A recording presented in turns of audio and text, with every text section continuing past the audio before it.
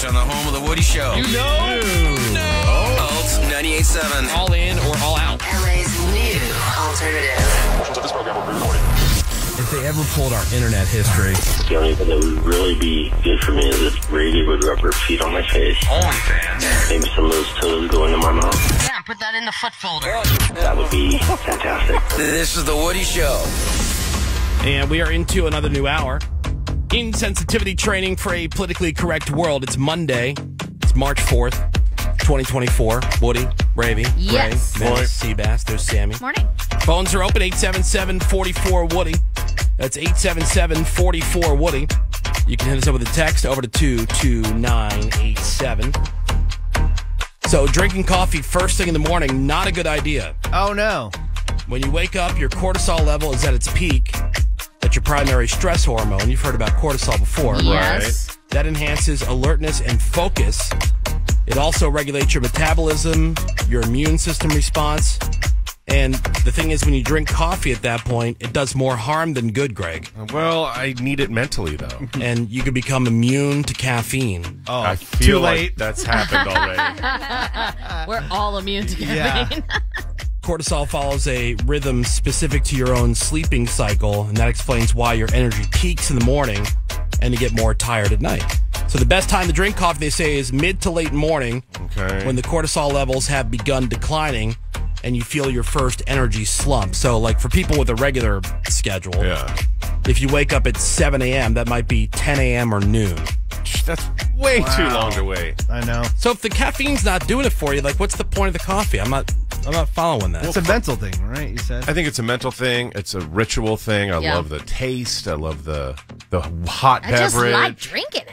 I love everything about it. Love the smell. when people say, "Oh, I drink a Coke and I get a buzz," I'm like, "What is that like?" Yeah. Get a buzz from a Coke. I know people do. That's Oh, how I get it. sensitive some people are Yeah. to caffeine. I get a crazy buzz from Coke. Really? Oh, wow. Oh yeah, Must be that's nice. my go-to if I need energy because I rarely drink soda, and so for some reason the caffeine in the soda is different than when I'm having coffee. So if in the middle of the day I have soda, forget it. I'm off the walls. wow. Really? Interesting. And you drink coffee black.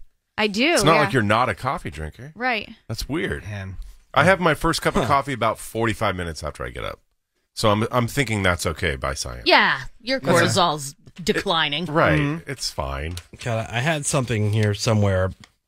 Speaking of uh, drinking a soda. Oh, yeah, here it is. Okay, so according to a new study, drinking just two 12 ounce cans of soda per week Per- That's nothing. A Can week. can erase the health benefits you get from exercise. Oh my god. I believe it. So is that like uh, that rave?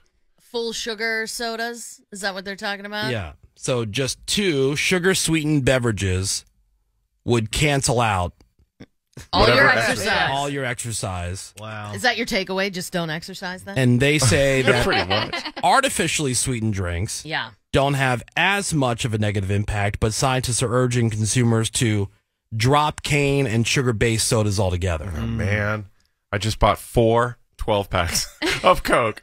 Oh yeah. just straight regular, up ones, non-diet. Oh, wow, you're off the wagon, I dude. know. Yeah. This is for uh, adults over 30 who work out 150 minutes every week. Yep. Yep. Just two 12 ounce cans of soda would just erase all that. Derails Yeah. all that. And this is what I think, I, this is what just keeps people mm-hmm. discouraged. And they go, well, forget it. Well then Yeah. F it. Yeah. I want my Yeah. Coke. I don't know. I've grown to love all the sugar-free zeros. yeah. Right. I know, Yeah, but then at least that's something versus the regular. And I know it's just as bad, but it's That's a what I'm little- saying. The it's a anti- little less bad. the anti soda people, they will tell you that that is just as bad, if not worse. It is. It has cancer causing agents, guys. I will say I gave up soda for Lent when I was in high school, and I lost ten pounds almost. I mean, by the time Lent was over. Wow. I believe it. But what Great. you gave up full on full Yeah. like sugar sodas. Also, you gave up Not diet. happiness. Yeah, because skinny people don't drink diet mm. sodas. That's right. Tim. Fat people are drinking diet sodas. Mm-hmm. Skinny people drink. Yeah, but that's like diet diet. I'm talking about zeros. right. I'm saying when we did the fat chick, skinny chick game, and for those of you who never heard us play that game, like we get a volunteer and uh, on the phone, and they would send us over a picture, which none of us had seen yet, just like one of the producers. And then we'd ask them a bunch of questions like, uh, do you drink regular or diet soda? Do you have a gym membership? Different things. Because it was interesting. The people who didn't have a gym membership and the people who drank regular soda, they were always the skinny people. Always thin. Didn't have to worry about it. Yeah. Yeah. Like Lucky. skinny people don't think about it, so they'll they'll have a regular soda because it doesn't matter. Whereas like, you know, the fatties like me, like you're, you're like, oh well why why add more calories to the mix? I'll just have the the big fat meal, Yeah. but a diet soda. But zero calorie bev. Yeah. Right.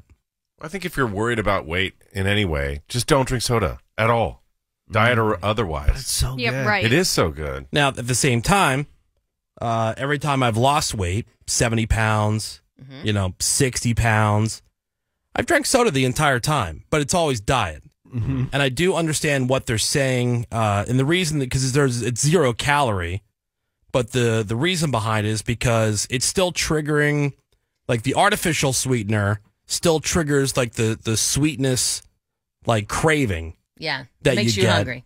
and it'll what they it'll, say. it'll make you crave other sugary sweet Mm-hmm. things. So if you have a sweet tooth or whatever, now see the the key is avoiding that stuff. Yeah. So you could drink the diet soda and you could stay on an otherwise healthy diet and exercise and everything else, and yes, you will lose weight. Easy. But if you cave to if you cave to the uh, the cravings. the craving Yeah. that the artificial sweeteners will create, well then of course you got a problem. yeah. That's not the artificial sweeteners, the fact that you ate all those cookies. Well, don't be no punk then. Don't be no punk. Yeah, just don't be a punk. Is the advice You won't Menace def- is giving. you won't Yeah. defeat me, Cookie. I have power over you. But let me tell you, man. I'm not going to eat a bucket of cookies. you know, you hear stories all the time about people that get lung cancer. They've never smoked a day in their life. You know, so Yeah. this whole thing of like, oh, well, there's cancer causing whatever. Like, it, it- dude, everything Filling up your car with gas. they say, well, oh, you know, it's been known to cause cancer, uh, cancer that, cancer that. It's like, sure. You know, what are you doing? Hiking. who is who is living a life of any kind that is completely avoiding all the things that could potentially give you cancer? The Wow. most fun people out there. No, but you know what I mean? Mm, yeah. Because everything. Maybe a hermit in the mountains. Yeah. That's about it. Yeah. Your cell phone. My mom never. cancer. My mom never smoked a day in her life. Got cancer. Right. Right. Mm-hmm. And was a i- i- is she's healed. She's still here. Um, a healthy person, like a healthy lifestyle person. Right. And then you have smokers who live to be 98. Right. You never know. Yeah. So I figure, like, yeah, I'm gonna try to do the best I can with how I'm feeling in the moment. Okay. So if I want a soda, I'm gonna have a soda. Agreed. You know. Because you hear a lot Yeah. about work life balance. What about just life life balance? Yeah. You got to have some joy. You got to have four 12 packs Yeah. of Coke Right. in your Yeah. house. no, 'cause I'm just thinking, like, and I know this guy had cancer too, but Chris Mortensen yep. from uh, ESPN reported on the NFL for like three decades with ESPN. He died yesterday. He was only 72. Throat cancer. He had throat cancer. Oh, God. Damn. you know and uh you know th- I, I forget who else died recently and the, they were way younger than i thought they were and it's like man you know just just live your life Ex- Yeah, live life and party. Mm-hmm. you know Just live Enjoy it. it. not be completely reckless but, Exactly. you know everybody's like well i'm not touching that i'm not touching this it's like wow how boring I know. have your coffee when you wake up Right. like I don't cares? care where my cortisol is. yeah Yeah. I'm it. drinking it. right Gotta have it. right today this is bad for you tomorrow they're like oh well you should definitely more Definitely drink coffee first thing. What do you- Right. what do you mean you're not having nine eggs I every know. When I was a kid, it was two eggs a week.